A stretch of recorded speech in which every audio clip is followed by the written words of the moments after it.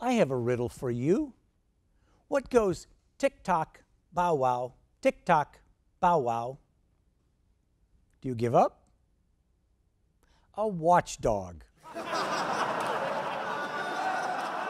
um, 24 member organizations in Wow. 12 states. Okay. And we try to build their capacity so that they can not only provide better services wherever they're located, but they can then collectively come together and advocate on behalf of issues that are